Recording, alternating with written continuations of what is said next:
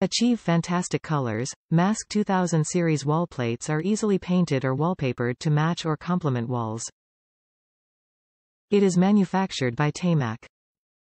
Package dimensions 0.21 L by 2.93 W by 4.75 H.